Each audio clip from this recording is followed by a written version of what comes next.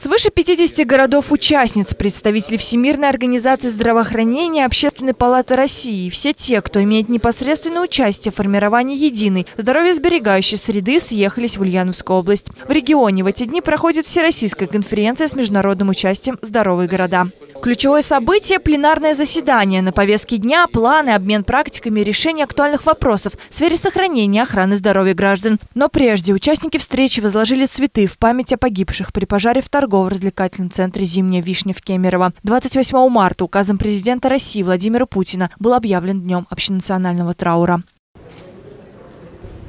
Здоровые города, районы и поселки сегодня это крупнейшая национальная сеть в Европе по охране здоровья и формированию здорового образа жизни населения России. Ассоциация является частью глобального движения «Здоровые города», который уже 30 лет реализуется при поддержке Всемирной организации здравоохранения. Проект охватывает почти 2000 городов из 55 стран мира. Как отмечают руководители объединения, в нашей стране Ульяновская область – лидер проекта по многим показателям.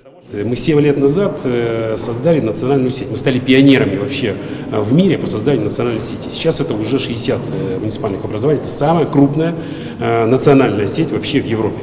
И мы говорим жестко и заявляем о том, что мы должны выйти на все мировые показатели по качеству жизни по э, длительности жизни, по, сокращению смертности, э, младенческой смертности. Согласно ежегодному посланию главы государства Владимира Путина Федеральному собранию, в ближайшее время Россия должна войти в круг стран, где продолжительность жизни граждан превышает отметку 80 лет. Вклад в достижение такого показателя должен нести каждый регион.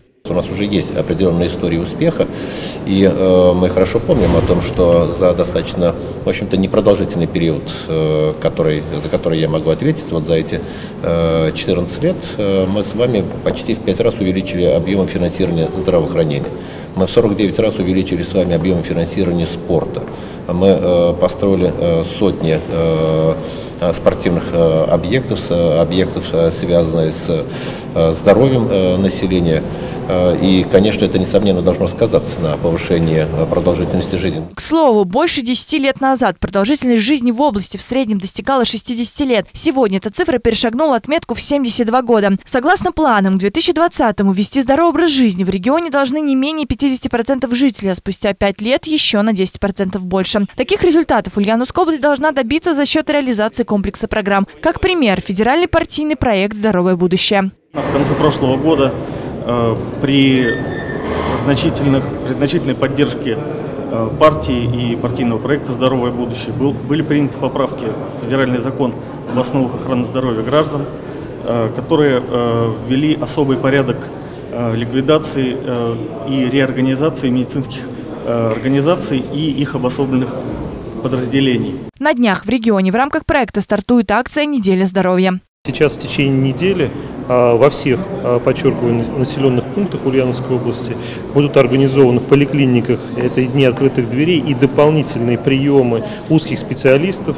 А по субботам, значит, во всех школах Ульяновской области пройдут уже традиционные, но в более расширенном формате спортивные субботы. По итогам двух дней конференции ее участники должны принять ряд соглашений и прийти к консенсусу по созданию единой платформы здоровых городов. Рената Алиулова, Юрий Конихин. Новости Ульяновской правды.